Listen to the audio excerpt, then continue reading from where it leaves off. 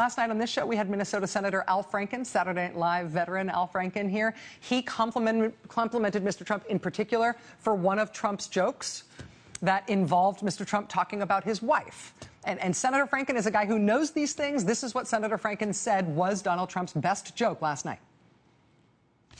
You know, the president told me to stop whining.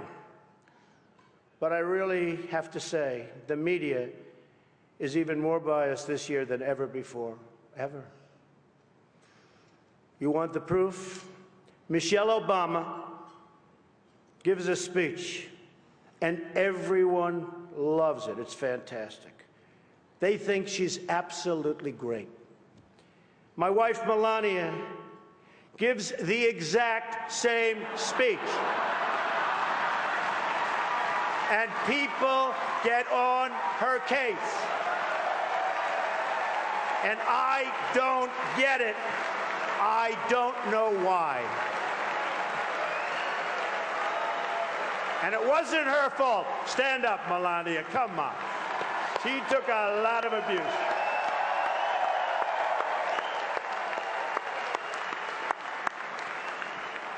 Oh, I'm in trouble when I go home tonight. I'm, she didn't know about that one.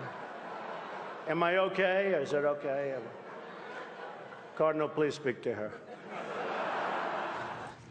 Overall, it was a bad night for Donald Trump at the Al Smith dinner. He did get booed and heckled. But that joke, that joke about his wife's plagiarism in her Republican convention speech, that one really did go over great in the room. Al Franken thought it was a great joke, went over great in the room, everybody laughed. Turns out that joke appears to itself be plagiarized.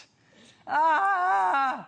This comic from R.J. Matson was done for Roll Call, the Capitol Hill newspaper this summer. Michelle Obama gives a speech and everybody loves it, but Melania gives pretty much the same speech, word for word.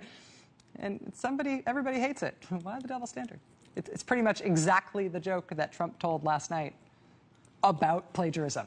I told you that Donald Trump is having a really bad day. I told you.